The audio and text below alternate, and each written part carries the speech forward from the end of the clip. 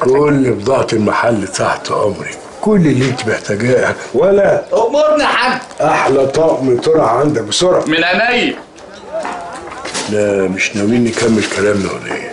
ما أنا اللي عندي قلته وأنت سمعت بس اللي عندنا أنت لسه ما سمعتوش أحلى طرح يا حاج. طب روح. لا ده كل اللي يعجبك. بس أنا عايزة حاجة تتحمل معايا شوية مش عايزة حاجة أي كلام. لا ما تقوليش كده. أي كلام ده إيه؟ إحنا كل القماش بتاعنا بتاع بلده. دول حلوين. قول لي بقى بكام دول يا حاج إيه ده إيه ده إيه ده ليه كده؟ هتخليني أزعل منك؟ انت جاي تشميني في محل أكل عيشي. أديك قلت أهو. محل أكل عيشك. يعني أنا مش همشي من هنا غير لما انفعك وأدفع ثمن الحاجة اللي أنا خدتها. يا ستي تمنهم واصل. لا ما وصلش. وأنا مش همشي غير لما ادفعهم ولا عايزني أسيبهم أسيبهم. طب استني بس أنت مالك حامية قوي كده ليه؟ يا ساتر يا ساتر لا لا لا ما احبش كده. ما احبش كده. خلاص. تعالى يا ابني حاسب الست. واعمل لها خصم 90% إيه؟ 99% السلام عليكم. السلام. خلي بالك قلب المحل.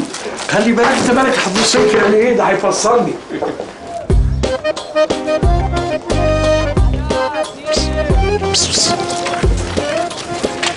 إيه؟ بتجري كده ليه؟ بقول لك إيه؟ قول يا حاج. انت عارفة انت يلزمك إيه عشان ترتاحي؟ يا سلام. يا حاج راحه مش مكتوبه للي زينا يا حاج. انت مكتوب لك تقعدي. وتستنتتي وتتخدمي كمان. كلنا خدامين لقمه العيش يا حاج سلام. استني بس. أنا مش فاهم أنت حامية قوي كده ليه؟ الله الله الله. الراجل ربنا خلقه عشان لقمة العيش والست عشان تاكلها.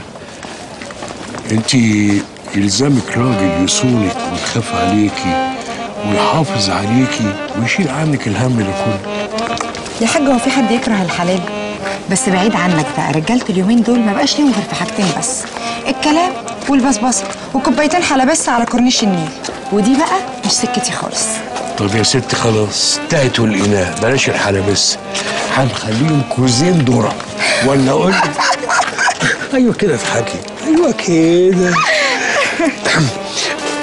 طيب لو لقيت الراجل اللي رايد الحلال تفتحي له الباب؟ يا سلام. هو في حد يقف في وش القسمه بس ده لو القسمه هي اللي جابته الباب هيتفتح لوحده. يلا سلام عليكم. مع السلامة. ألف مليون سلامة. يا حبيبي أبو سميحة. تابع جميع حلقات مسلسل الزوجة الرابعة على فيو